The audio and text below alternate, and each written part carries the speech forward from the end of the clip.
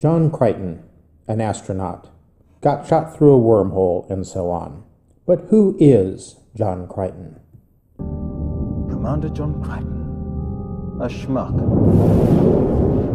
Mule headed, reckless, and probably brain dead before I met him. All true. Nevertheless, John Crichton is the protagonist of Farscape, which means he is some sort of a hero. But what kind of hero is he? Farscape is original in so many ways, so is it also original in its treatment of its main hero? Let's explore. Depending on who you ask, there are in fiction five or six types of heroes. Basically, they boil down to the classic hero, epic hero, tragic hero, anti hero, and everyman hero. Epic heroes are unrealistic characters of superhuman dimensions. They possess divine, magical, or technological abilities that make them separate from and superior to ordinary people. Hercules was son of a god. Superheroes of the comic book universes, by birth or by life altering event, have superhuman abilities. Classical heroes are persons without any superhuman powers, but they have a special gift or quality that distinguishes them from ordinary people. Classical heroes are larger than life figures of surpassing virtue. Many classical heroes are the subject of prophecy, or are descendants of a classical hero who are tasked, willingly or not, with a heroic quest that only they can complete. The tragic hero has a fatal flaw that spells their doom from which they cannot escape. Oedipus is the archetype of the tragic hero though this type has become more common in the postmodern age. The antihero is a deeply flawed character who is central to the plot, but is more like a villain than a typical hero, especially in lacking what most would consider a moral sense. Early science fiction had many epic and classical heroes, from John Carter of Mars to Flash Gordon to Luke Skywalker but the antihero has become more popular as much science fiction has turned to dark and brooding themes.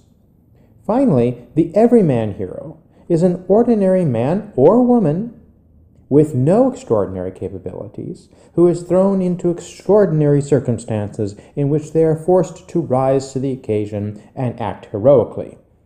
Bilbo and Frodo Baggins are good examples. To me, it is readily apparent which type of hero John Crichton is because it is easy to see what type of heroes he is not. Crichton is not an epic hero. He is not a descendant of the gods or of nobility.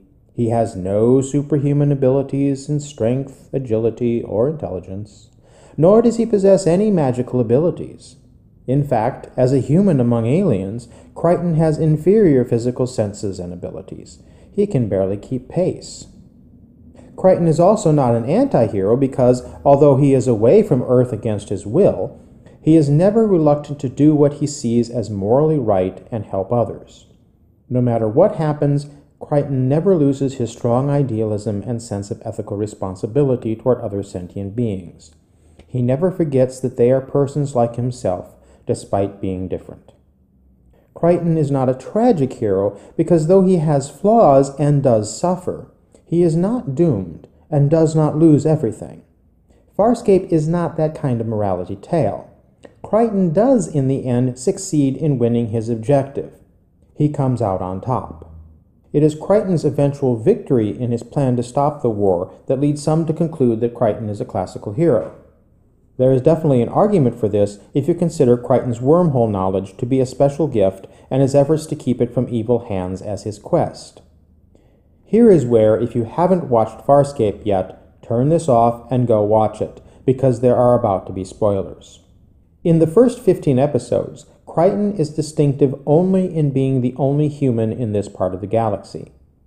In the episode A Human Reaction, he has an encounter with a species we later come to know as the Ancients, who, we later learn, implanted knowledge of wormholes locked in his mind.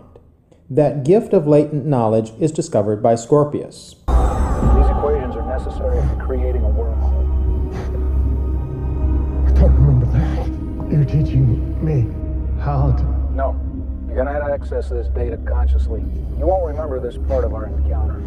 We will not give you wormhole technology. Why not? If you're not smart enough to discover it on your own, you're not smart enough to handle it wisely. Crichton becomes hunted by Scorpius, who replaces Crais as the show's villain and the threat from which Crichton and his friends are fleeing. The wormhole knowledge is a gift that separates Crichton from others and seems to turn Crichton into a classical hero. But does the wormhole knowledge give him special powers? Does the knowledge turn into a quest for him? The knowledge turns him into a special target of both Scorpius and the Scarrans, but he is little more than a pawn in their galacto political struggle. The best he can do is try to keep from being captured, and in most of Farscape, the original series, the companions on Moya are by and large running away trying to survive and little else. Crichton is running away from Crais, Scorpius, Grayza, and the Scarrans the whole series other than once when he resolves to enter the lion's den of Scorpius's research base in order to sabotage Scorpius's wormhole project, and second, when he crashes into Scarran territory, first to rescue Aeryn, then to rescue Scorpius. Crichton's actions are heroic, but the hows and whys of his action show what kind of hero Crichton is. Many science fiction heroes are soldiers or warriors. For example, the Star Warses, the Star Treks, the Stargates, and Babylon 5.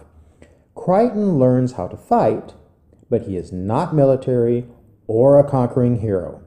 As he tells us, I'm a damn scientist. Nor is Crichton a lost prince, wizard, or savior. His arrival in this part of the galaxy is an accident, not the fulfillment of prophecy. He is not destined to fulfill a grand quest, or anything really. At first, Crichton just wants to get home, and it would seem at first that this is his classical hero's quest. But over time, he bonds with his companions on Moya, including a flirtation with a certain Aeryn Sun, and he develops a fierce loyalty to them, repeatedly risking his life for them. Those are the actions of a hero, but Crichton isn't trying to save the world or universe, he is trying to save his friends. And while intelligent people can differ on this point, this is why I say Crichton is an everyman hero, not a classical hero. Crichton's heroism is not the classical larger than life savior of the world bit. He is no King Arthur, he is no Braveheart, he is no Captain Kirk. He is A schmuck. Sure, Crichton is almost the all American boy. He is tall, handsome, clean cut, down home, and pure. And he is a regular guy who has an ordinary balance of strengths and weaknesses who must learn how to survive by being adaptable, not by using any special abilities. Crichton is the son of a hero, an astronaut who walked on the moon.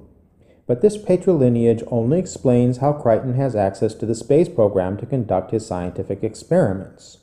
He, in fact, though loving and admiring his father, feels that being the son of a hero is a burden. He can never be his father's kind of hero. But in the first episode of Farscape, the original series, before Crichton leaves Earth, his father tells him that. But each man gets a chance to be his own kind of hero. And this is almost a thesis statement for the series and for the type of hero that Crichton is. Like so much else that happens in Farscape, Crichton has to improvise his heroism. His motivations are primarily to save himself and his friends. More like a classical hero, Crichton, beginning with the Look at the Princess trilogy, acts motivated to prevent bloodshed by keeping wormhole weaponry out of the hands of both peacekeepers and Scarrans. But toward the end of season 4 and the Peacekeeper Wars film, his motivations shift more to protecting Aeryn and her fetus. He stops the war, but only by taking extreme actions that result in the death of untold numbers. His complex motivations and actions in the Peacekeeper Wars I will discuss at length another time. But to the question of what kind of hero Crichton is, I wish to make two observations. One is that he is only able to build the wormhole weapon because the alien Crichton calls Einstein unlocks that knowledge for him. It is not an ability Crichton possesses, only carries against his will. The other is that in the Peacekeeper Wars, Crichton is so obsessed with the need to protect Aeryn and their future child that Aeryn has to intervene. This is ugly, and it is malignant. But it will protect you Ah, and the baby. You see, you don't just protect me. We protect each other. In the final hour of Peacekeeper Wars, Crichton almost becomes a tragic hero, flawed and almost dying from his own hubris and actions. He does stop the war, and for that he is a hero. But as soon as he succeeds in shutting down the wormhole weapon, Einstein takes the wormhole knowledge back from him, and Crichton is returned to the normal human being that he was at the beginning of the series. That makes him no less a hero, but confirms that he is an everyman, not an epic or a classical hero. He does not win a kingdom, he does not fulfill a prophecy, he survives. And some of his friends survive too. Crichton is a hero, yes, but an everyday hero, and that's the best kind.